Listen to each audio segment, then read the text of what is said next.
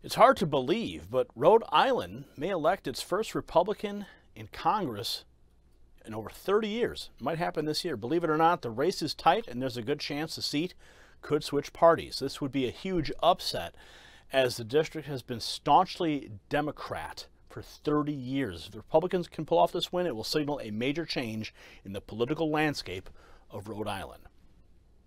Town Hall reports in the November midterms, Rhode Island may elect its first Republican to the House since 1992 as part of a likely incoming red wave.